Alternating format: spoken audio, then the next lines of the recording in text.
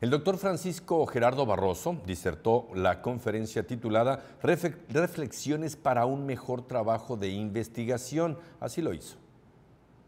Este viernes inauguró el cuarto foro El Edén de la Ciencia. Arrancó con la conferencia magistral Reflexiones para un mejor trabajo de investigación a cargo del profesor investigador de la Universidad de Yucatán, Francisco Gerardo Barroso Tanoira, quien dijo en esta ocasión que las personas que desertan el trabajo de investigación son por situaciones laborales o porque no les gusta al final lo que se está investigando o en ocasiones porque los tesistas no están del todo de acuerdo con el tema que le dan los asesores, que es causal también de la deserción ante el desinterés. O de repente el, el, el, asesor le dice al, al, al, muchacho, al tesista, mira, recomiendo que sea esto, pero el maestro de la materia de investigación le dice, no lo hagas. Entonces, deciden hacerle caso al maestro de, de la materia, deciden hacerle caso al maestro de la materia, porque dice, ¿qué tal si, si no apruebo?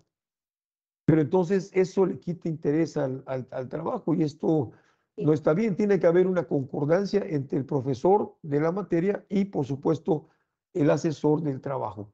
Esta conferencia magistral fue a través de Microsoft Teams, con información de Armando Cortés para Radio y TV, UJAT Noticias.